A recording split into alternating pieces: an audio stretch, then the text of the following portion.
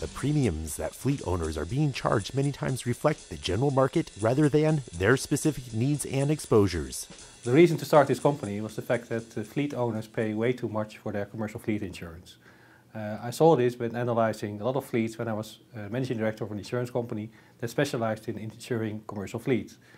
So after seeing that, I felt uh, I should start a consultancy company to work with the fleet owners to, to get them a better deal on insurance.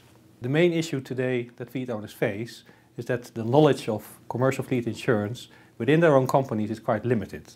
And they outsource this knowledge, they purchase it from brokers and insurers. And what these brokers and insurers provide is a very good cover for the liabilities the fleet owners face. However, what they don't provide is a benchmark.